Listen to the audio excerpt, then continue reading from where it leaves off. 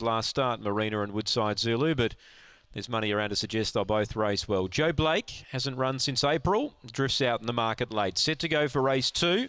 Favourite Dakota Hummer, they're ready racing. Dakota Hummer jumped brilliantly here, straight to the lead. Deep out on the track, we got Flossie Hill. Wider out was Marina. They bunch behind the leader, and the favourite gets away. Dakota Hummer by four. Marina's in second. Three or four to Indeed in third. A big gap to Woodside Zulu. Joe Blake got into bother, so did Flossie Hill. Down the back, Dakota Hummer by five, and is doing it really well here. Second is Marina trying hard. Deep out was Indeed. They turn. Dakota Hummer's getting tired. It's got three lengths to spare. Indeed, flying home.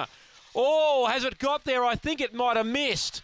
Indeed flew. Dakota Hummer tiring. Close go. Marina close up in third. Uh, not quite sure in fourth. We had Woodside Zulu from Joe Blake and Flossie Hill. Photo. Uh, I thought the four might have just gripped on, but the two's got really close. Stand by. Time here is around 30 and 40. Dakota Hummer needed the line. Indeed has lunged late. And uh, I thought the inside just, but the two's got close. We stand by. Really close. Uh, Dakota Hummer was walking indeed, was flying at it late. And as they've reached the line, there's not a great deal between them. I thought to the naked eye the inside, but you've always got to tack on something for the outside here. But uh, yeah, I reckon the four might just do enough. Four gets it. Four has got it. Dakota Hummer.